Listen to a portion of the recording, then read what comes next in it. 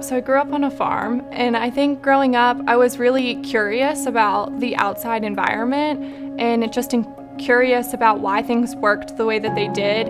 And I would help my dad um, rip apart tractors, and there was like no manual to put it back together. So you kind of had to critically think about why these things were happening the way they were and look at something and understand why it was working. And then when I was in my classes, I really started to understand oh, that's why my dad and I do this, or oh, that's why that always falls off, or that's why this happens. At IUP, I work at Dr. Major's laboratory.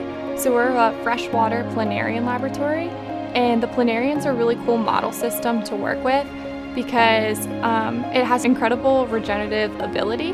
So basically you can chop, it's a worm, it's a flatworm, you can chop it up into a, a bunch of different pieces and it'll grow back to fully functioning worms with all of its parts. So we study a gene that is involved um, in regeneration. So if we knock out the gene and we lose the gene, the worm can no longer regenerate.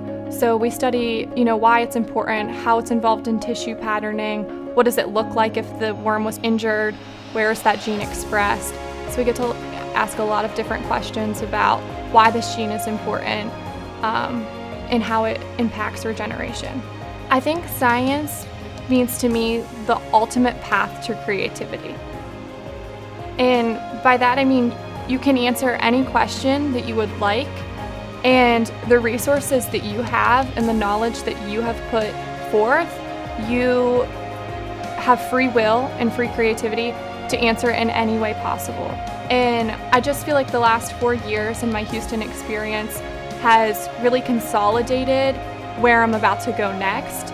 And kind of all of my professors made sure that I was learning. They really cared that, you know, we had the information we needed to go forth.